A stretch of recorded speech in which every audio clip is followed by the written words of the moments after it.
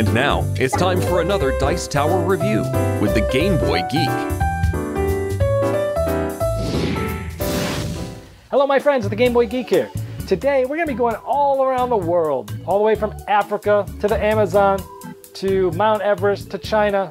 Well, not really, because actually, we're going to be pretending to go to those places, but we're really just staying around London, going to different spots, and bringing stuff back to tell our stories about these great artifacts that we found and different things we did all around the world, even though we never left. This is about coming back to London and telling people an adventure and a bunch of stuff and nonsense. This is a game from Cheapass Games. It's two to six players, plays in about 30 to 40 minutes. It is a light but fun thematic little game here. Let's take a look. I'll show you how it's played. I'll see you on the other side.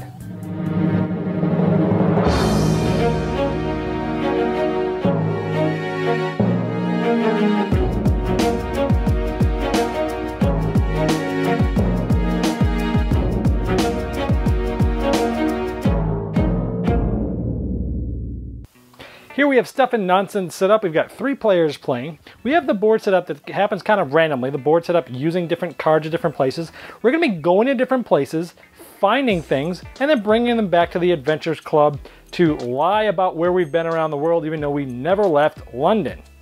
We could be going to the newsstand and gathering facts, or the antique shop to get artifacts, the junk shop to get specimens, the gift shop to get photos, the cafe to get anecdotes, the pub to get heroes, or the market to trade some of our stuff, or finally the Adventures Club to go on and tell everybody about your adventure. So where these cards are on the board doesn't really matter, it's randomly set up. We randomly have eight cards that are drawn and put with the corresponding color is the easiest way to see. There's also symbols as well. We also have Professor Elemental that ends up being in a random spot as well. So on your turn, now notice that this is sort of a wheel. So on your turn, you're gonna be able to move one spot or stay, and then you can grab something from that spot if you want.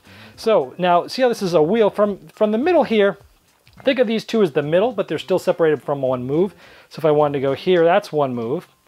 Uh, from the middle, I can go pretty much to anywhere. So I could go here, or I could even go here on my turn. On the next turn, I could go here, over to here, or any of these cards in the middle. So again, each of these cards are sort of one way around in a circle, and both of those are kind of uh, one away from any card in the middle, and the middle's one from each other, and that's sort of how they're connected. So what are you trying to do? You're trying to go off to find these items, to lie about where you've been, and to try to score some points. For example, if you could get two cards that have to pertain with Africa, you can then go tell about it and score some points. And notice that these points go range from one to four. I'll show you how this works later. As for Mount Everest, we need three cards, and China, we need four cards that say China. And of course, as you go up, the points get larger. You could also go for even the more difficult spots that need five or all six cards there, because there's only six different areas that you can go to get those cards. So this means you need one from every one of those. But look at the points, range from 8 to 14 there, but you need six cards. South Pole, you need five unique cards. So let's say on my turn, I go to the junk shop and I get to pick one of these cards if I want. Now when you take one of these, notice it's got the, the green junk shop uh, uh, color on there. And notice that each of these in order are the different places. For example, those gold places I told you, Africa, has this symbol. And so in order from top to bottom, easiest to, to hardest, shows you that this is worth one point if it's for Africa, three points it's for China.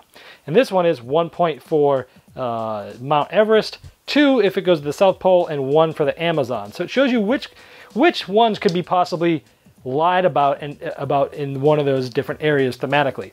Now, one of the coolest things always about uh, the Cheapass games is the flavor text and the theme of this. So look at this, a plum duck sauce. Leave it to the mysterious Asian people to prefer, perfect a mean of to make a duck taste even better than it naturally would. Or a fossilized fern. This rock, bearing of a fossilized leaf, comes from a sacred burial place in the heart of the wilderness. Those who rob it are said to be smitten with a hereditary lisp. They're usually funny, interesting things that, that are on the cards there. So I could take one of these, let's say I just take this one, that would be the end of my turn. Now we each started with the cards secretly actually, so now I actually have two and you keep these secret from everybody.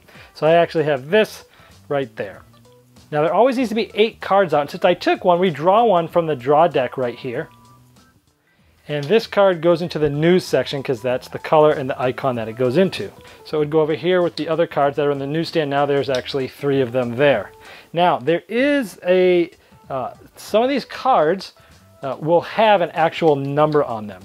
and this says seven. Now what this means if any card comes up when it's being drawn and it has a number equal or greater to the number of players that are, that are there, um, Professor Elemental will move clockwise one spot. Now I know the game only plays to six players, but they have these numbers up to eight because you actually can play it up to eight, but it's really just recommended for up to six. Anyway, Professor, uh, uh, um, Professor Elemental will move clockwise one spot. He always moves clockwise. Now what does that mean? Well, if, let's just say it was later in the game and I was here, if uh, Professor Elemental went here, I would essentially Professor Elemental is the person who started this whole scheme about going off just around London, finding all these cool things, bringing them back, and saying he went everywhere. Now we're doing it, and he's catching us doing what he started, and he doesn't like it. So we get a penalty when he comes over here because he doesn't like us stealing his shtick. And so what happens if, if he lands where you are? You either have to discard one of your cards from your hand or lose one point for each card in your hand. So I either got to get rid of one of these cards or be minus two. And you just keep track on a pencil and paper. So it's pretty simple. On your turn, you're just moving one uh, up to one spot if you want to. You can grab something if you want to. If you go to the market, you essentially put one card in the bottom of this pile. You basically are discarding it, and you draw another one blindly. Uh, and when you have enough to commit, uh, complete a story, you go to the adventure club on your turn, and you, when you go there, you must uh, turn in an adventure and tell us about it. So let's see what that might look like. So let's say I went to the adventure club on my turn. I'm turning in a, a story or an adventure. Now I'm going to China. This tells me I need at least four cards. And whenever you turn an adventure, they have to be unique cards. When I say unique, unique types. So if you can look at the, the logos or the colors here, you can see you can't have more than one photograph card, for example. So all four of these come from different areas, different types of things that go to your story. And they all have to have points saying that they're worth something. They actually match with China. So in this case, this is legitimate. I have at least four cards. They're all different. Um, and they all have points for China. So I would get two, four, six, eight, and I would get six bonus points because this card is like this.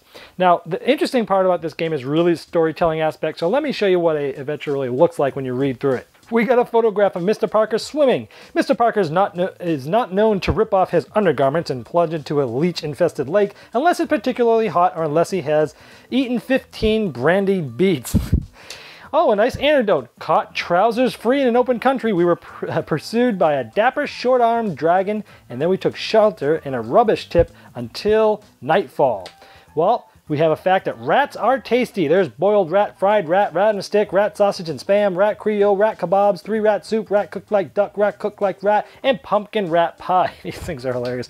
Miniature tree. A tree this, uh, this small could only be a product of harsh environment, such as one might find atop the world's tallest mountains in the entry of Japanese farmhouse. So you would read that off, everybody would laugh, and you would get those points. We would then move uh, Professor Elemental one way clockwise. Ooh, if there's someone there, you get the same penalty I talked about earlier. We then would reduce this goal by one. So it was worth six. Next person that goes to China is worth four. We then take a die and we randomly have one of the goals go up. This is a die two. So we go with the one with the die two. So Africa goes from three to four. If I had rolled the same place, it doesn't go up. Nothing else will go up. So one thing's gonna go down and usually one thing's gonna go up.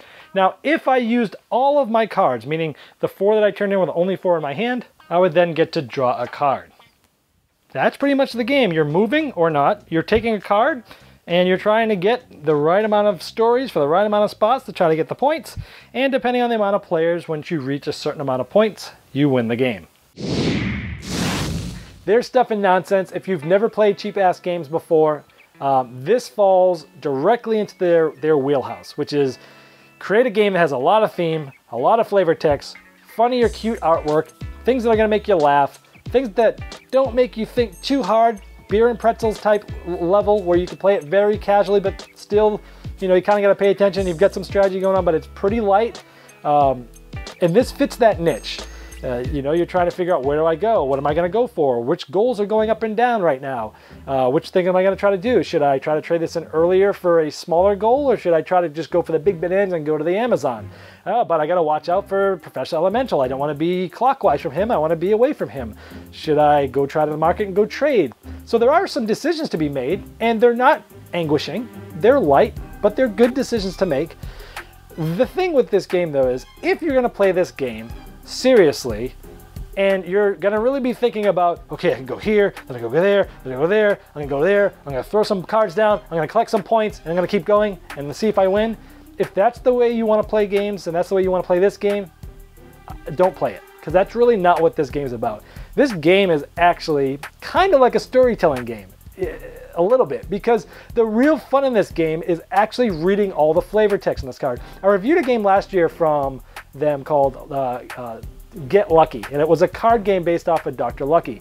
And you can play that game for points too, and you can play without the flavor text, and it's fine. But when you read all the flavor text, Cheapass Games is just great about drowning you with with theme and drowning you with some funny, witty things written there. Sure, if you play the game a million times, it might get a little old, but it's it's just funny. And when you see new people read that stuff, it will bring back the the element of, of, of laughter there. So in this game, it really, if you want to play it, play it as a light thematic game, beer and pretzels. I'm going here, I'm going there, got some things to think about, but they're not too hard. But when I turn on the adventure, I'm going to read my story and people are going to laugh. Then this is one that you're probably going to enjoy. It's quick, it's fun. The story's the best part, but there are some good decisions to make. Don't don't don't think there's there aren't any. There are, but they're light.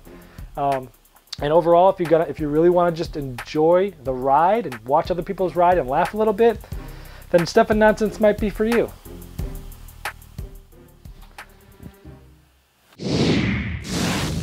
Thanks so much for watching the Dice Tower videos. Find more great videos and reviews as well as our top-rated audio podcast at Dicetower.com. You can also find other great shows at Dicetowernetwork.com.